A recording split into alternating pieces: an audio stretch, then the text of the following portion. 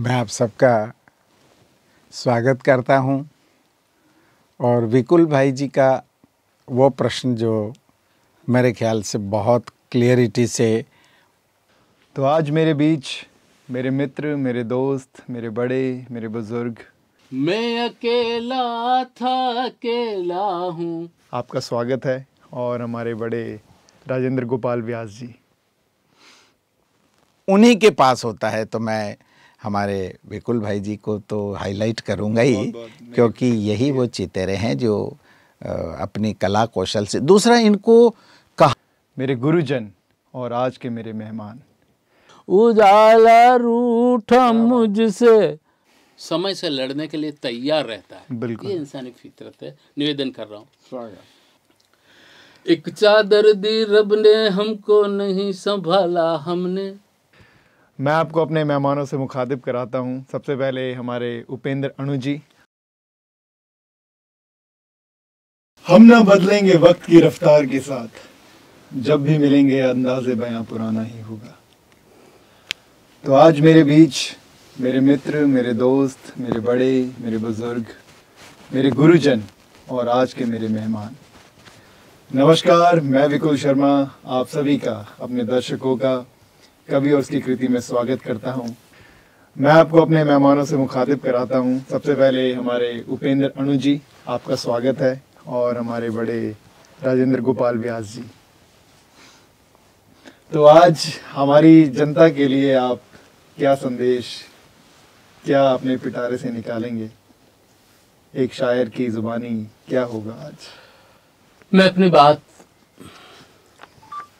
एक मुक्तक से प्रारंभ करना चाहता हूँ। जी।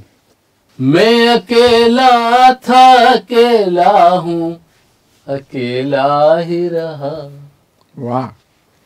मैं अकेला था अकेला हूँ अकेला ही रहा। मेरे घर दर्द और मुसीबतों का मेला रहा। क्या बात मेरे घर दर्द और मुसीबतों का मेला रहा। प्यार पाया नहीं, बस लोगों की दुत्कार मिली। प्यार पाया नहीं, बस लोगों की दुत्कार मिली। उजाला रूठा मुझसे और अंधेरा फैला रहा। उजाला रूठा। मुझसे और अंधेरा फैला रहा। और निवेदन करना चाहता हूँ स्वागत। कि कई खुददार ज़िंदगी को हंस के जीते हैं। क्या बात है वाह। कई खुददार ज़िंदगी को हंस के जीते हैं। घृणा के जख्म प्यार की सुई से सीते हैं। घृणा के जख्म प्यार की सुई से सीते हैं। प्यार है मानते हैं कि प्यार नाम है। समर्पण का। मानते हैं कि प्यार नाम है समर्पण का। हो के सुकरात गरल मुस्कुरा के पीते हैं। हो के हो के सुकरात। गरल मुस्कुरा के पीते हैं। और एक मुक्तक और मेरी। इच्छा है कि मैं और पढ़ू। असीम दुख पड़े लेकिन हार मानी है। जब व्यक्ति सब तरफ़ से हार जाता है जी। तो उसका विल पावर समाप्त हो जाता है। जी जी बिल्कुल। लेकिन मेरा ऐसा मानना है कि मुसीबत आदमी को बहुत ज़्यादा मज़बूत बना देती है।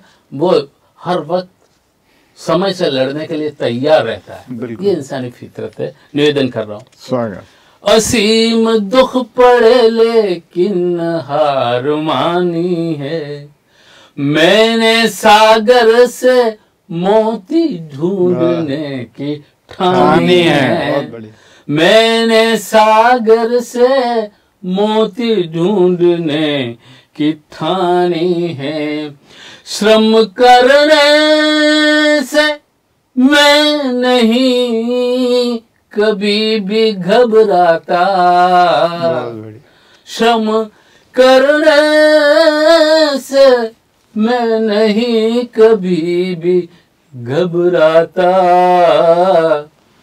ज़िंदगी को बहुत करीब से से जानी। जानी है। ज़िंदगी को बहुत करीब से ही जानी है। और निवेदन करना चाहता हूँ आज इतने बढ़िया श्रोता और मेरे अग्रज हिंदुस्तान के बहुत बड़े गीतकार के रूप में प्रसिद्ध भाई राजेंद्र गोपाल जी जी। आज इस मंच पर है। उनके साथ काव्य पाठ करके मैं गौरवान्वित हूँ। जी जी। एक गीत पढ़ने की मेरी इच्छा है आज इस मौके पर बढ़िया। कि एक मैंने गीत पढ़ा था कबीर दास जी का चदरिया झीनी रे झीनी। तब मेरे मन में कल्पना उठी कि आज के युग में कबीर दास जी होते और काश वो कल्पना रूपी या यथार्थ रूपी चादर उनको उनके कुछ लोगों को जो आज के हालात पे हैं, उन विशेष लोगों को मिल गई होती तो कबीर दास जी जिस चादर के लिए ज़िंदगी भर अफसोस करते रहे कि मैं इस पे कहीं दाग नहीं लग जाए, ये कहीं मेली नहीं हो जाए, जो इस ईश्वर ने मुझे दी, उसको मैं वैसी की वैसी वापस लौटा दूँ, इसी प्रयत्न में लगे रहे। लेकिन आज के हालात में कुछ वीआईपी लोगों को, कुछ विशिष्ट लोगों को अगर वो चादर मिल जाती तो उसका क्या हश्र होता? मेरी कल्पना अच्छी। कोशिश अच्छा प्रयोग एक चादर दी रब ने हमको नहीं संभाला हमने। एक चादर दी रब ने हमको नहीं संभाला हमने। और खून के छींटे डाल के गंदा कर दिया मिलकर सबने। बहुत खून के छींटे डाल के गंदा कर दिया मिलकर सबने।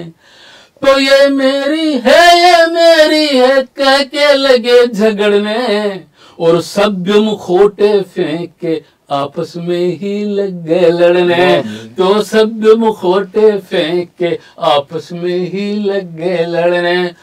तो बोने दिए थे हम मगर हमने बबूल ही बोए और मेली चादर देख कबीरा बैठा बैठा रोए। और मेली चादर देख कबीरा बैठा बैठा रोए। और किन लोगों को मिली?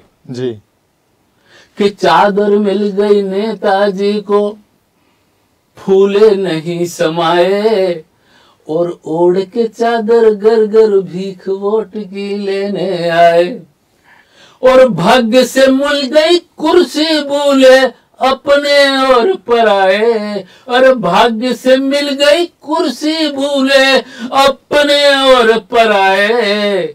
और जनता चाहे भूखो मर जाए ये तो मौज उड़ाए और जनता चाहे भूखो मर जाए ये तो मौज उड़ाए। तो देश जल रहा दंगों में ये तान चदरिया सोए और मेली चादर दे कबीरा बैठा बैठा रोए। एक चादर दी रब ने हमको नहीं संभाला हमने और खून के छींटे डाल के गंदा कर दिया मिलकर सबने। तो ये मेरी है या मेरी है कह के लगे झगड़ने और सभ्य मुखोटे फेंक के आपस में ही लग गए लड़ने। तो बोने दिए थे हम मगर हमने बबूल ही बोए और मेली चादर दे कबीरा बैठा बैठा। निवेदन कर रहा हूँ दूसरा व्यक्ति कौन जिसे जी। चादर प्राप्त हाँ जी जी। वाह। हमारे देश के अंदर दो खास विशेष व्यक्ति है। जी। जिसको ईश्वर ईश्वर ने चादर नहीं दी लेकिन वो ईश्वर के मुँह लगे थे। हम्म, तो चादर मांग लाए कि हमें भी दीजिए। कौन थे? मुलाजे करिए कि पंडित मुल्ला मिलकर रब से चादर मांग के लाए। बहुत बढ़िया।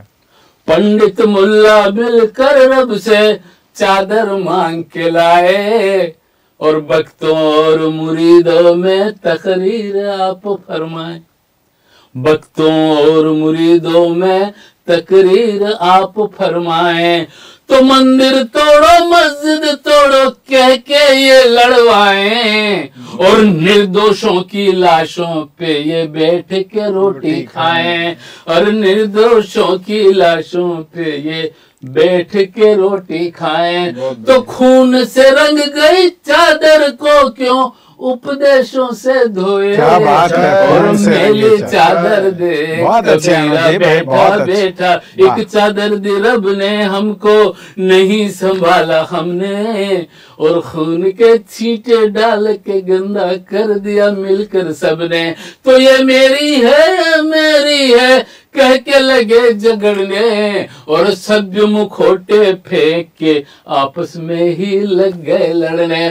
तो बोने दिए थे मगर हमने बबूल ही बोए और मेली चादर। देख कबीरा बैठा बैठा रोए और और किस किस को मिली? एक शख्स और। चादर दी, धनवान को तो वो भी संभाल नहीं पाया। चादर दी धनवान को तो वो भी संभाल नहीं पाया।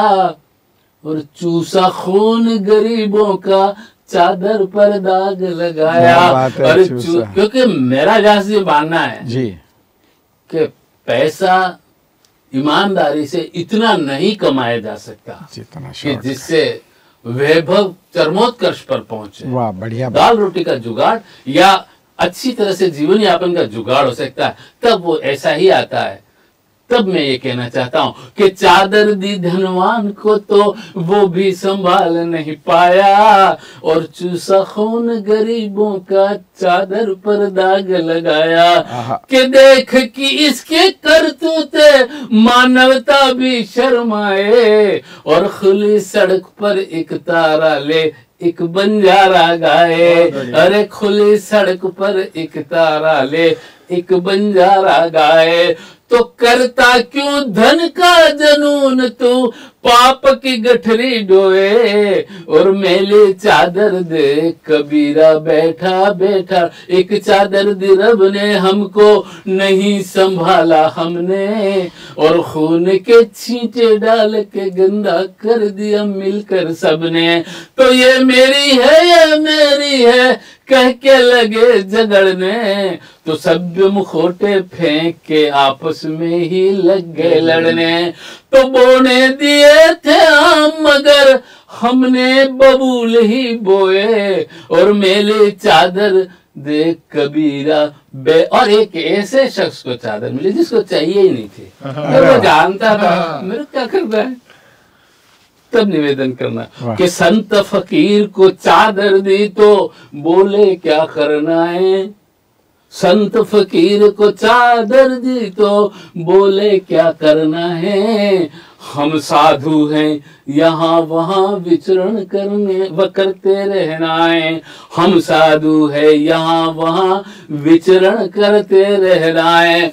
ये सारा आकाश चादर धरती लगे बिछोना। क्या बात है वाह वाह। ये सारा आकाश चादर धरती लगे बिछोना। और प्रभु भजन को करते करते नींद लगे तो सोना।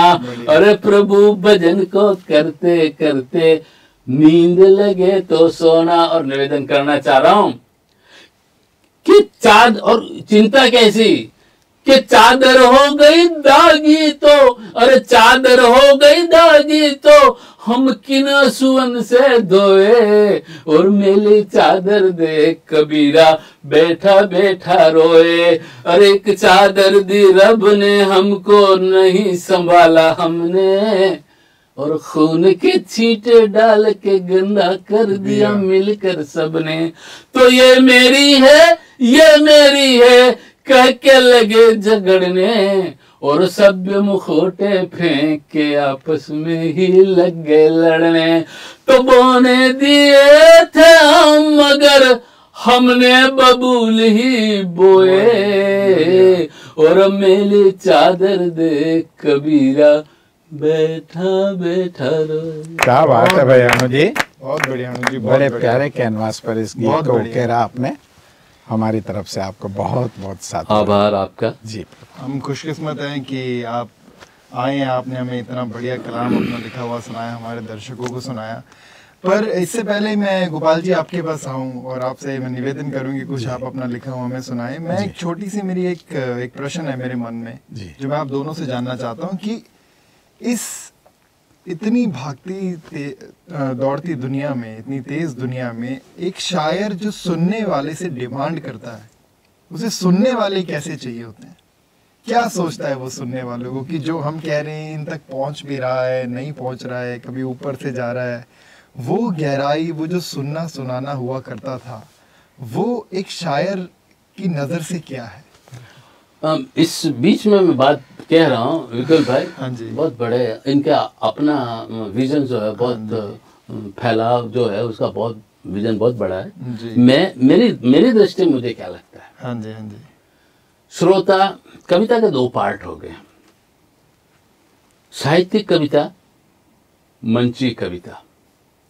मंची कविता में चाहे बुद्धिजीवी हो साहित्यकार हो कोई भी हो वो सिर्फ़ मात्र मनोरंजन की दृष्टि से आता है। कि कुछ हाँ कुछ मनोरंजन हो जाएगा। वो कविता ढूँढने आता भी नहीं है। कविता ढूँढने के लिए वो पुस्तकें पढ़ेगा वो करेगा जो क्या लिखा है ये और वहाँ ये आता है। और कुछ मात्र मनोरंजन के लिए आते हैं।